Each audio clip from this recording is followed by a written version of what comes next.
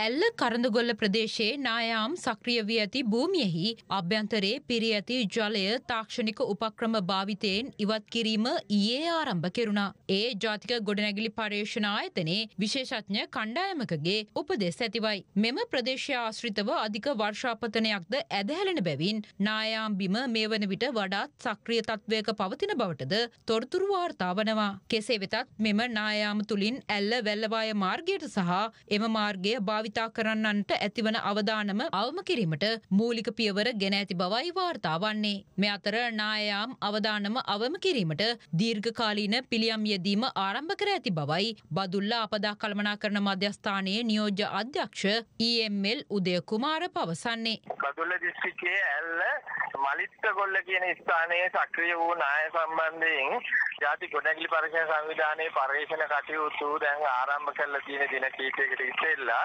තරම එතෙන්දී ඒගොල්ලෝ යෝජනා කරන කෙටිකාලින් හා දිගුකාලින විසඳුම් වලට අවශ්‍ය මූලික කටයුතු තමයි දැන් සම්පාදනය වෙමින් පවතින්නේ මේවා තාක්ෂණික ක්‍රියාකාරකම්.